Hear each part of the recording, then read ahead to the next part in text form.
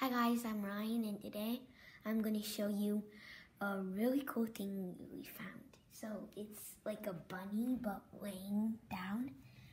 Her, her like feet is like out.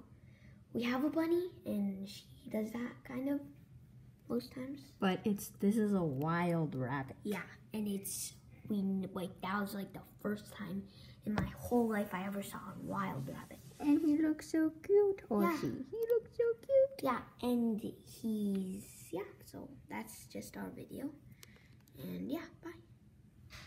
So you can have a one last bit of look to look at it if you want.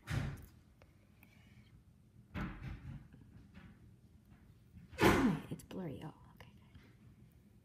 Yep, that's our video.